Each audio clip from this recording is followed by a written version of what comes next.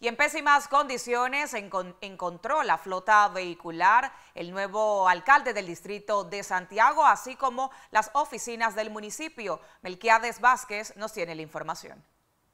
Con la llegada de las nuevas autoridades alcaldicias al municipio de Santiago, el ingeniero Eri Jaén como alcalde se han encontrado con una serie de problemas que van desde una flota vehicular en pésimas condiciones y estructuras en deterioro, al igual que otros equipos dañados. La verdad, una flota muy pobre, eh, muchos carros deteriorados, ya sacamos un comunicado en base a eso. Eh, lamentable la situación, no tenemos eh, autos para, para ingeniería municipal, para recaudo, para los jueces de paz, para viaje, cualquier viaje del mismo alcalde, no tenemos. Estamos ya trabajando en ese sentido no comprándolo directamente, vamos a hacer las solicitudes a, todo lo que ha sido e, incautado eh, para ver si pueden tener la disposición de brindarnos auto o alguna flota para el municipio de Santiago. Sí que estamos trabajando en eso, viendo también eh, qué podemos recuperar de, lo que, de, lo, de los que están deteriorados para poder ponerlo en funcionamiento.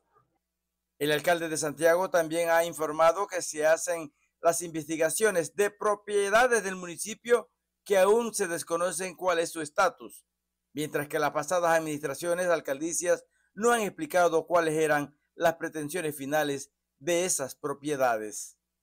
Eh, ¿Tiene alguna eh, mejoras que hay que hacerle?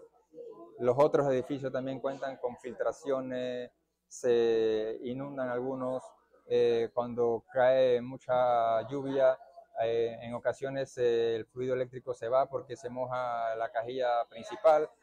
Hay que hacer eh, una reestructuración de todo el municipio, tanto aquí donde está el Consejo Municipal como en las instalaciones arriba del Banco Nacional. Así que tenemos que trabajar fuerte en eso. Lo más seguro es que en los próximos meses tendremos que buscar dónde reubicar a todo el personal de ambas para poder darle mantenimiento a toda esta estructura pero en estos momentos nos encontramos en tratar de poner la casa en orden, tratar de eh, tener la capacidad financiera para poder hacer tanto las reparaciones como poder trasladar personal a otras áreas.